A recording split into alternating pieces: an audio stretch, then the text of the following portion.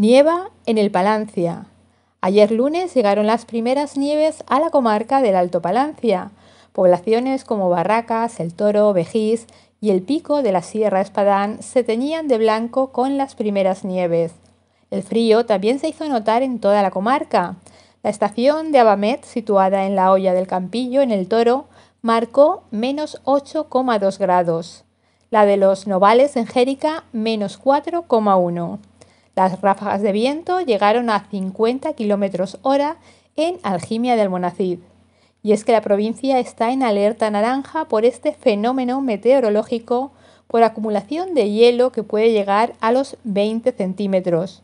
Hoy martes y miércoles seguiremos con cielos cubiertos y temperaturas frescas con máximas que seguramente no superen los 10 grados.